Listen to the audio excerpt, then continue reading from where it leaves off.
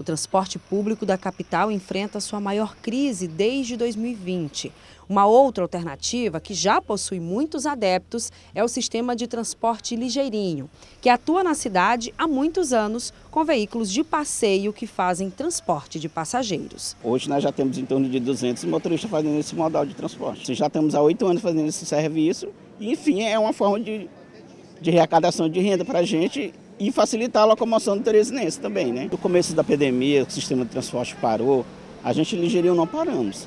Porque assim, foi a única opção de transporte mais em conta, além de um ônibus, era o sistema de lotação na época, né? Nós temos aqui nos bairros mais próximos uma tarifa de R$ reais. Por exemplo, São Joaquim, Matadouro, Mafrense, Velho, Itaperu, a tarifa é R$ reais. Os bairros que são um pouquinho mais distantes, Mocambinho, Buenos Aires, R$ reais.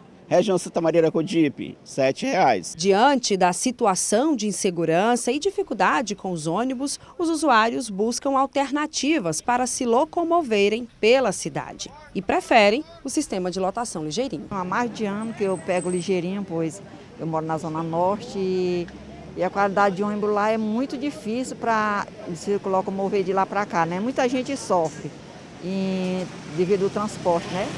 Aí está com mais de um ano que eu venho de ligeirinho.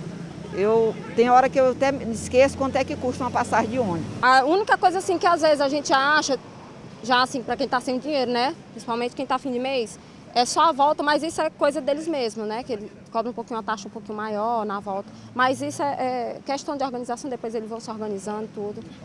Mas para mim é melhor que até mesmo do ônibus. A demora do ônibus é muito grande. Mal de nós, usuários, né, se não fosse o ligeirinho, né?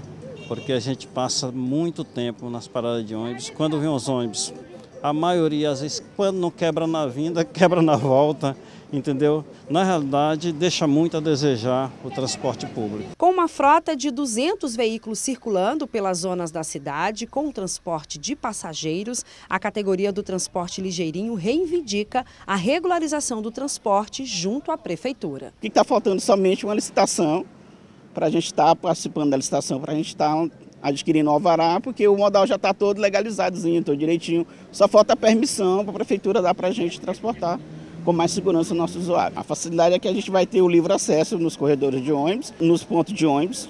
O usuário vai ter uma confiança maior no, no serviço, né? Como não, não é regulamentado, tem muitas pessoas que só vão trabalhar e fazem o serviço. Então tem grandes demandas de reclamações, que pessoas que fazem o serviço sem ser ligeirinho. Então, com o serviço regulamentado, a gente vai ter sem certeza de quem é o operador do sistema de lotação e o usuário passa a conhecer realmente quem é o, o operador do sistema.